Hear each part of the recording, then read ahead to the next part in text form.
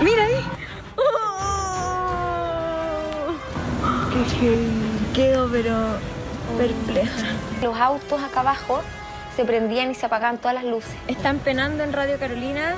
Otra vez aquí en Mega, cachen cómo se prenden las luces de los autos. Tú nos mandaste la foto del fantasma. Sí, que esa foto la sacó un guardia. Esa la sacó un guardia.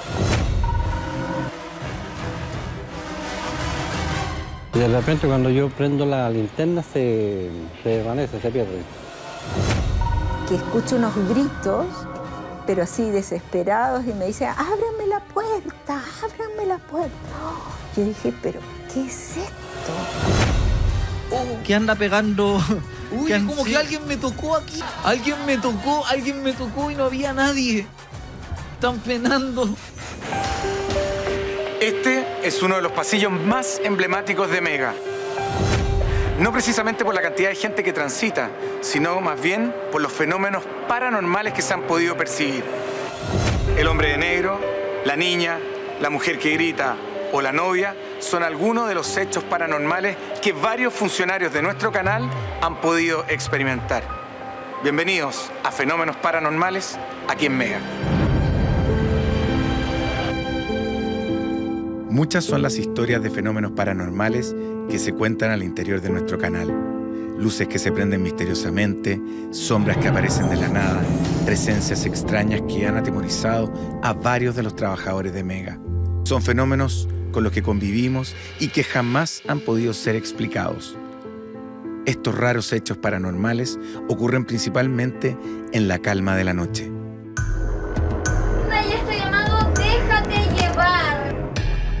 Cuando nos íbamos yendo del programa en la noche también, me vino a buscar mi pololo y con la Gaby nos íbamos siempre juntas, yo la pasaba a dejar. Fuimos al auto y cachamos que estaban los chiquillos de prensa allá en la esquina, muertos de susto porque los autos acá abajo se prendían y se apagaban todas las luces. Están penando en Radio Carolina.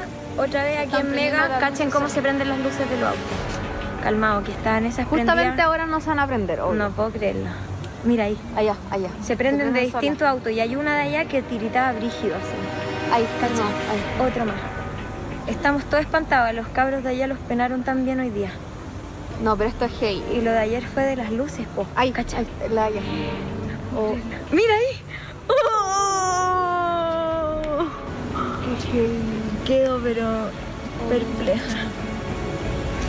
No puedo creerlo. La verdad es que yo sí, como que un poco de, de escepticismo tenía, pero después de que nos pasó, ahí yo creo completamente y quedé muy, muy asustada. Aparte al Carol también le pasó y a varios compañeros le han pasado cosas, entonces... Nos vemos mañana cuando ya sea día viernes sí. 4 de mayo. Una chenería más que la persona que no sabemos quién es de los de aquí de la radio que anda pegando. Uy, que como sí. que alguien me tocó aquí. Alguien me tocó, alguien me tocó y no había nadie. Están penando. Están penando. Están penando. Es como que te pegaron un Sí. charchazo en la cara. No, como que sentí algo que no sé si cachaste que me di como vuelta y justo Sí. entró el pelo. Sí, es como te pegaron un charchazo en la cara. Oye, lo de Carol es impresionante.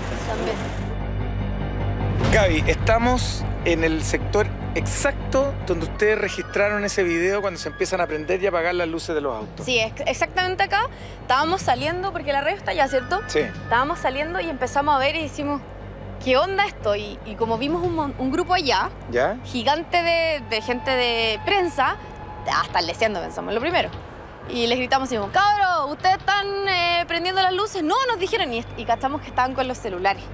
Y ahí sacamos el celular y empezamos a grabar. Bueno, es impresionante porque si la cámara empieza ponte tú, a moverse un poquitito, eh, los autos prendían y apagaban las luces, pero no de manera ordenada, sino que lo hacían uno, por ejemplo, allá al fondo, después venía uno acá a la izquierda, después otro al lado de ustedes, y de repente había uno que está como hasta hacia donde está enfocando la cámara, que empezó a prender y apagar las luces en forma más constante. Sí. Y la gente estaba ahí al lado, y esto continuaba también. Claro, y no- nosotros dijimos quizás un guardia que estaba como haciendo algo con un control remoto, pero después pensamos, ¿cómo va a tener eh, acceso a todos los autos?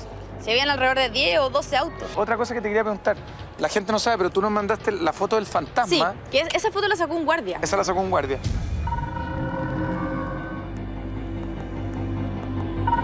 Yo quiero que, te quiero invitar a, a que vayamos a ese lugar, que es la mampara, la entrada de la Radio Candela, para que grafiquemos cuál es la puerta y por qué no puede estar trucada la foto, que Claro. es lo importante.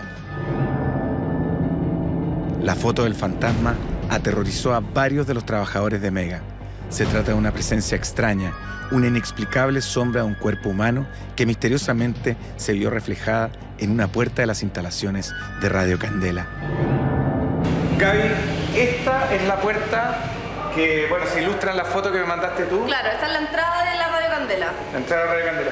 Y la foto se ve claramente una figura con las piernas y todo. Ahora, el punto es que si yo me paro acá y la, y la cámara muestra la, la puerta, probablemente tú podrías ver, uno podría pensar que es el reflejo de la persona que sacó la foto. Exacto.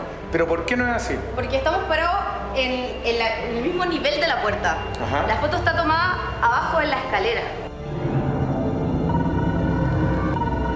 Ese día se que- dejaron encerrado uno de sus compañeros. ¿Ya? Y estaba haciendo la ronda y él sube por acá y cuando ve el fantasma saca el celular y le da tanto susto que obviamente no iba a subir la escalera porque no quería enfrentarse directamente con esta sombra o esta silueta, lo que sea que ve, y saca la foto desde acá abajo. Claro, y si, y si la cámara capta ahora, es imposible que uno pueda reflejarse en los pantalones del guardia porque la, la altura de nuestro cuerpo está mucho más abajo que donde parte la puerta. Por lo tanto, esa figura, esa silueta, es fantasmagórica. Es imposible que haya sido él mismo. La noche oculta muchos misterios en las instalaciones de Mega. No pocos dicen haber sentido presencias escalofriantes y horrorosos ruidos entre los estudios y pasillos. Sucesos que a varios trabajadores han aterrorizado.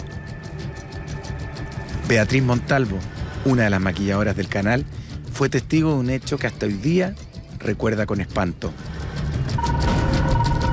tipo un cuarto para la una, por ahí sería, que escucho unos gritos, pero así desesperados, y me dice, ábrame la puerta, ábrame la puerta. Yo dije, pero ¿qué es esto? Esto, hoy día es el estudio 4 de nuestro canal, donde se graban las teleseries. Eh, hasta hace unos años era una sa- sala de maquillaje, camarines y un pasillo que daba al estudio de Mecano por la parte de atrás.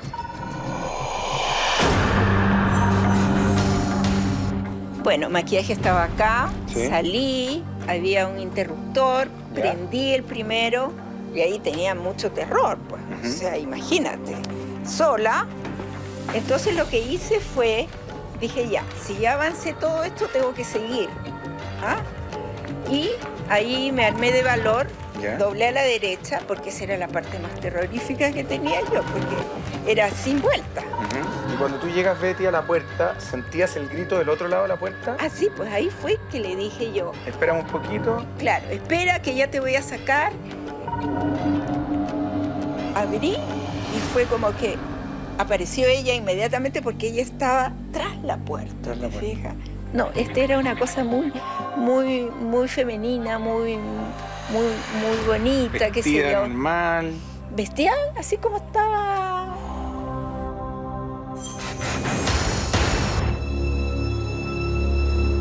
Aún nadie ha podido dar alguna explicación a los fenómenos extraños que ocurren al interior del canal. Pero varios de los que aquí trabajan han aprendido a convivir con estos fenómenos. Es el caso de los guardias de Mega, quienes han tenido que vivir más de alguna manifestación paranormal en las silenciosas instalaciones. Por ejemplo, allá en el pasillo, del- en el casino, ahí, entre el, este- estudio 3, también dice que una vez se le apareció una persona y este guardia conversaba con él. ¿Ya? Y al llegar acá a la puerta del estudio 3, se, se le desapareció esta persona. Eh, estudio 5, eh, sombras que se deslizaban en el interior del estudio, en el instante que yo me encontraba apagando luces. Y cuando traté de observar ya no había nada, cuando prendí las luces para ver nuevamente. Es un- una figura humana pero oscura, oscura.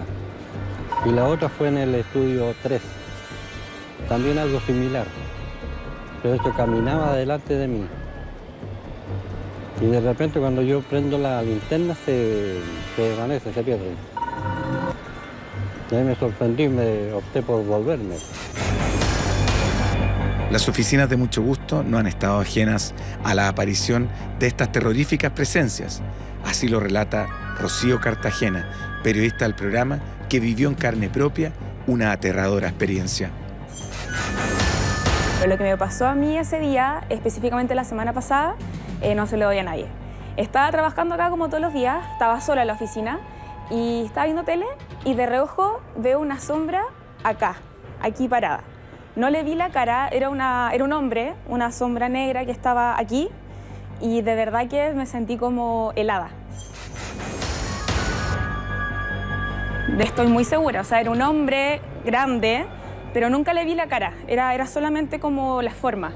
Ya de verdad que uno siente que hay algo y, y da miedo. Para muchos de nosotros acá en Mega, ya son habituales las conversaciones sobre avistamiento de presencias paranormales. Sin embargo, para las personas que vienen por primera vez, es otra cosa. Hace unos años, la psíquica Cristina Araya estuvo invitada al Late, más vale tarde. En esa oportunidad, relató una experiencia escalofriante que le ocurrió al entrar a nuestras instalaciones. La llegada, la bienvenida al canal no fue nada muy... ¿Y eso por qué?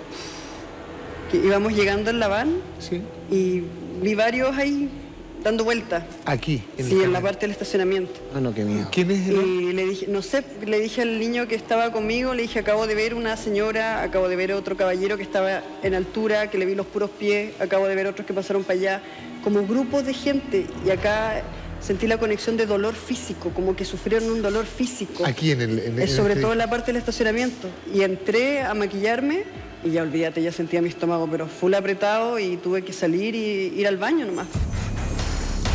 Están penando en Radio Carolina. Las historias paranormales que se tejen dentro de Mega son muchas. Aún se nos pone la piel de gallina al escuchar los relatos de algunas de ellas. Para varios de los testigos fueron experiencias escalofriantes y que aún guardan en su memoria. Yo no tengo alguna explicación de estos sucesos, pero si de algo estoy seguro es que estas presencias viven todos los días entre nosotros.